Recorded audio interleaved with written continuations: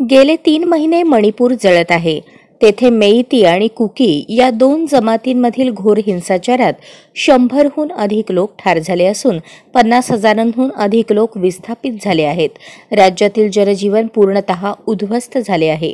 महिलांवर किती रानटी अत्याचार होत आहेत हे दोन कुकी महिलांच्या मानखाली घालायला लावणाऱ्या व्हिडिओतून जगासमोर आले आहे.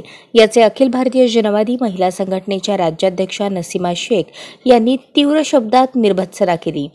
जनवादी व वर्गीय संघटना त्यांच्या संयुक्त विद्यमाने पंचवीस जुलै दोन हजार तेवीस रोजी राज्यभर मणिपूरच्या अमानवी घटनेच्या निषेधार्थ निषेध दिन पाळण्याचा निर्धार केला असून त्या अनुषंगाने सोलापूर येथील पूनम गेट येथे महिला संघटनेचे जिल्हाध्यक्ष माजी नगरसेविका शेवंता देशमुख आणि डीवायएफचे जिल्हाध्यक्ष विक्रम कलबुर्गी यांच्या नेतृत्वाखाली निदर्शने करण्यात आली.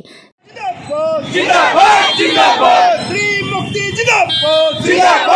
मणिपूर मधील घटनेचा निषेध असो. निषेध असो, निषेध असो. मणिपूरमध्ये शांतता नांदलीच पाहिजे.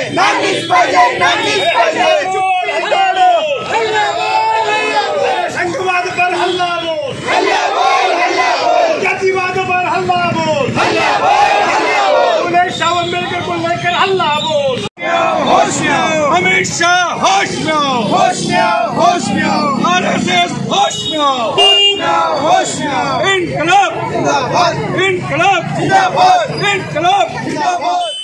यावेळी निवासी उपजिल्हाधिकारी शमा पवार यांना सी टू अखिल भारतीय जनवादी महिला संघटना भारताचा लोकशाहीवादी युवा महासंघ स्टुडंट फेडरेशन ऑफ इंडिया यांच्या शिष्टमंडळाद्वारे निवेदन देण्यात आले.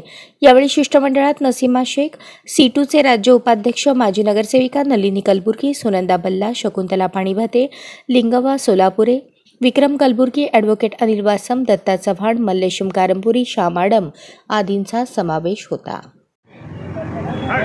आज अखिल भारतीय जनवादी महिला संगठना पूरे महाराष्ट्र भर में आज मणिपुर के सिलसिले पर आज जनवादी महिला संगठना उसका केंद्र सरकार का, वहाँ मणिपुर सरकार का निषेध करने के लिए लिए हम सब लोग वहाँ महिला यहाँ पर जमा हुए हैं। आज तकरीबन चार में से वहाँ मणिपुर जल रहे। और यहाँ के सरकार को, मोदी सरकार एक शब्द से भी उसके ऊपर बात करने को तैयार नहीं थे कि इंटरनेट बंद, वहाँ का खाना पीना बंद, वहाँ के हालात खराब। अचानक वो वीडियो सामने आई उन्नीस तारीख के बाद कि आज ये पुरुष प्रधान बोला जाता है जिसे।